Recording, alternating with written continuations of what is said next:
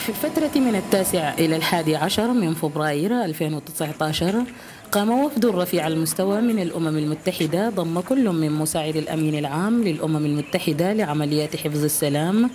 السيدة بنت كيتا ومساعد الأمين العام للأمم المتحدة ومدير برنامج الأمم المتحدة الإنمائي السيد مراد وهبة ومساعد الأمين العام لعمليات دعم بناء السلام السيد أوسكار فرنانديز.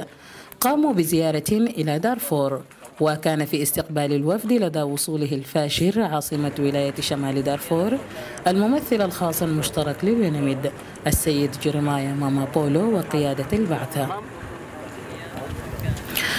شملت زيارة الوفد منطقة سورتوني بولاية شمال دارفور بالإضافة إلى زالينجي وغولو بوسط دارفور حيث التقى الوفد بالسلطات الولائية والإدارة الأهلية وقيادات النازحين.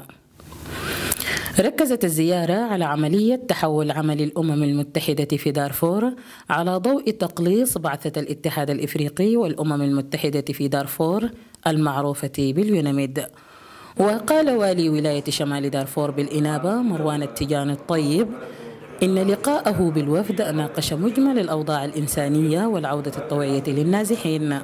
بالإضافة إلى القضايا المتعلقة بالانسحاب التدريجي لليونميد من دارفور وانتقال المهمة إلى وكالات الأمم المتحدة المتخصصة في مجالات التنمية والحلول المستدامة.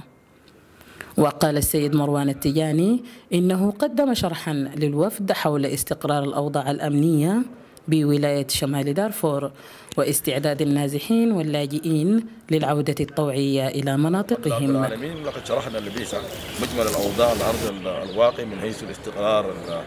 الآن موجود من حيث الاستقرار الأمني من حيث استقرار الأوضاع الأرض بصورة كاملة وكذلك من حيث استعداد عدد كبير جدا من المواطنين في إطار هذه المعسكرات بعودة الطوعية سواء كانت معسكرات النزوح الداخلي أو معسكرات اللجوء الخارجي إلى مناطقهم كذلك نورناهم بمجهودات الحكيم وحكومة في إطار العودة الطوعية وكذلك في إطار تقديم خدمات اجتماعية واضحة المعالم في جميع المجالات بصورة بصورة كبيرة